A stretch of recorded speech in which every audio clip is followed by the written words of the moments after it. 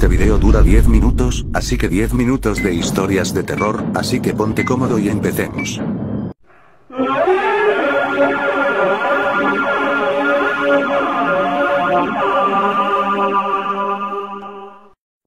El hombre de los sueños. El hombre de los sueños en enero de 2006, un psiquiatra de Nueva York recibió en su consulta a una de sus pacientes como un día cualquiera. En aquella sesión, la joven le explicó que había soñado en repetidas ocasiones con un hombre al que ni siquiera conocía. Tenía una calva incipiente, las cejas muy gruesas y los labios extremadamente finos, en especial el superior. Mientras oía la descripción, el facultativo dibujó el retrato del sujeto. No le dio mayor importancia y lo dejó sobre la mesa. Las tornas cambiaron cuando, en sus siguientes consultas, dos pacientes más aseguraron haber visto al mismo hombre en sueños. El psiquiatra decidió hacer copias del dibujo y enviarlo a varios compañeros de profesión. Meses después, vieron que el número de personas que habían soñado con él no paraban de aumentar y optaron por crear una página web en la que se registraran todas sus apariciones. Los facultativos descubrieron que el misterioso hombre se había colado en los sueños de cerca de 2.000 personas. Sus apariciones son de lo más dispares. Uno de los pacientes aseguró haberlo visto vestido de Papá Noel. Otro dijo haberse enamorado en cuanto lo vio. Un tercero asegura que cuando sueña que vuela, el hombre lo hace junto a él, y nunca habla. El fenómeno ha dado pie a múltiples teorías conspirativas. Una de ellas señala que el intruso es una persona real con la habilidad de irrumpir en los sueños. Otra, incluso afirma que se trata de un proyecto oculto de los gobiernos para controlar las vidas de los ciudadanos. La hipótesis más científica, sin embargo, indica que este rostro forma parte de la conciencia común. ¿Y a ti, alguna vez se te ha presentado en sueños?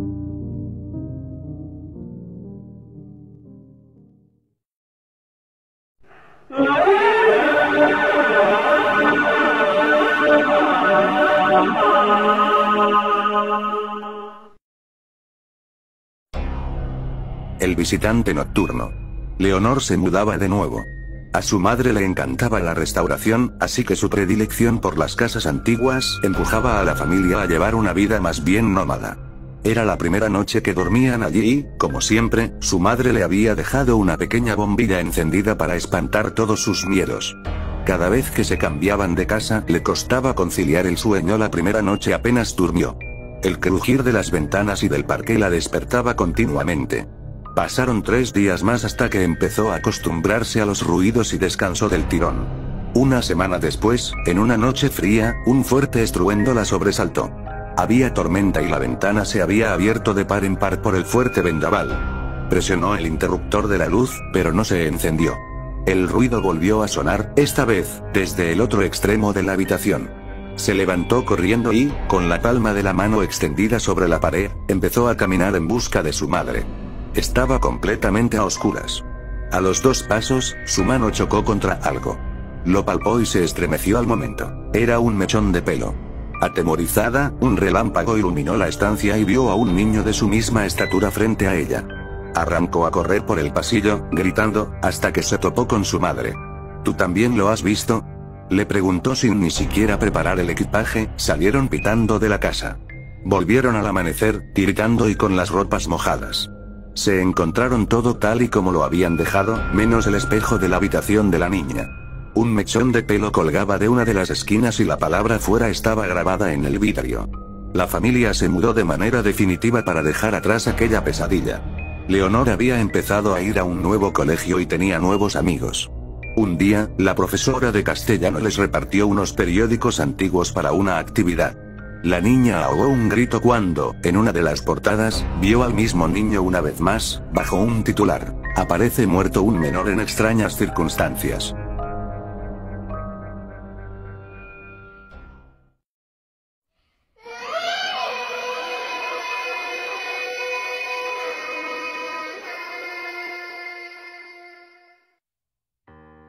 La chica de la curva. Existen diferentes versiones, pero todas ellas tienen un denominador común. Una joven enfundada en un vestido blanco.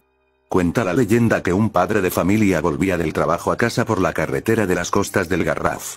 Era una noche lluviosa, el frío empañaba el parabrisas y el cansancio empujaba sus párpados hacia abajo. A medida que avanzaba por la carretera, las gotas golpeaban con más violencia los cristales de su coche, que perdía estabilidad en el serpenteante trazado del asfalto. El hombre agudizó los sentidos y redujo la marcha. En ese mismo instante, los faros del vehículo iluminaron la figura de una chica que, empapada por la lluvia, esperaba inmóvil a que algún conductor se apiadara de ella y la llevara a su destino. Sin dudarlo ni un momento, frenó en seco y la invitó a subir. Ella aceptó de inmediato, y mientras se sentaba en el lugar del copiloto, el chofer se fijó en su vestimenta. Llevaba un vestido blanco de algodón arrugado y manchado de barro. Por su pelo enmarañado, parecía que llevaba un buen rato esperando. Reanudó el viaje y empezaron una distendida conversación en la que la chica esquivó en varias ocasiones la historia de cómo había llegado hasta aquel lugar. Hasta que llegó el momento idóneo. Con una voz fría y cortante, le pidió que redujera la velocidad hasta casi detener el vehículo. Es una curva muy cerrada, le advirtió. El hombre siguió su consejo y, cuando vio lo peligroso que podría haber sido, le dio las gracias.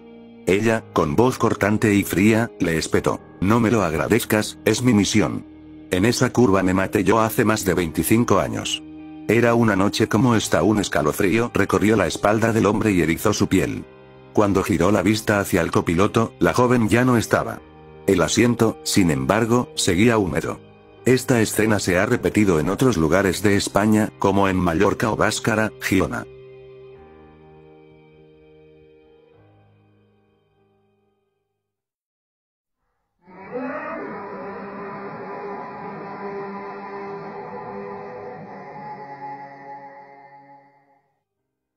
Ávila.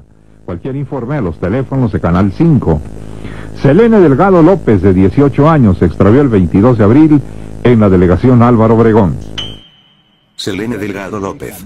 Si creciste viendo las caricaturas del Canal 5, te sonará muy familiar la leyenda, pedimos su ayuda para localizar a Canal 5 al servicio de la comunidad, con esta leyenda se anunciaban a las personas desaparecidas en la Ciudad de México o el área metropolitana, la narración se ilustraba con una ficha con datos de la persona y la última vez que se le vio así como una fotografía de frente o retrato hablado.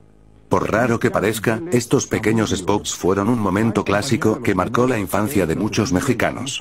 La misteriosa desaparición de la mexicana que todos conocimos por el Canal 5 como servicio a la comunidad, pedimos su ayuda para localizar a Selene Delgado. Existe una leyenda urbana en torno a estas cápsulas televisivas, acerca de una mujer llamada Selene Delgado López, se dice que su nombre se escuchaba varias veces en estas cápsulas, que se supone rotaban constantemente, en realidad nadie ha podido comprobar la identidad de esta joven, su procedencia y mucho menos paradero. Se dice que Selene es una especie de fantasma social, nada sobrenatural, pero que efectivamente es una mujer que nunca existió, algo así como un experimento mediático o social.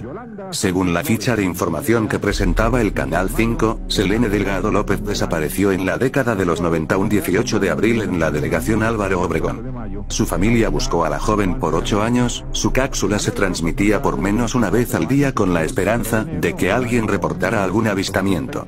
En algún momento se dejó de compartir esta cápsula, sin ninguna explicación, los televidentes nunca tuvieron claro si encontraron a la joven viva o muerta o simplemente los familiares se dieron por vencidos. Ante esto surgieron varias teorías, una de ellas explicaba que esta joven había sido reportada como extraviada desde la década de los 60, cuando este tipo de anuncios de hacía pegando fotografías en postes, y que la búsqueda tres décadas después era una especie de broma de mal gusto, sin embargo esta teoría contestaba el por qué la fotografía de Selene tenía tan mala calidad y resolución. Otra de las explicaciones formulaba la hipótesis que los rasgos de la mujer eran un común denominador que representaban al estereotipo de mujer que comúnmente desaparecía en Ciudad Juárez, fue precisamente en los años 90 cuando se desató una ola de feminicidios en esta zona del país, por lo tanto Selene podía ser una especie de emblema de protesta. Pedimos ayuda para localizar a Víctor Gama Tavera de 20 años de edad. Se ignora su paradero desde el 28 de mayo del año 2000. Esteban Mendoza Juárez, de 24 años, se ignora su paradero desde el 29 de abril. Va en compañía del menor Víctor Daniel Mendoza Rodríguez. Cristian Vélez Zamudio. Va en compañía de los menores Erika Cecilia y Cristian Daniel Vélez Ávila. Cualquier informe a los teléfonos de Canal 5. Selene Delgado López, de 18 años, se extravió el 22 de abril en la delegación Álvaro Obregón. Pamela Martínez Moreno, de 14 años.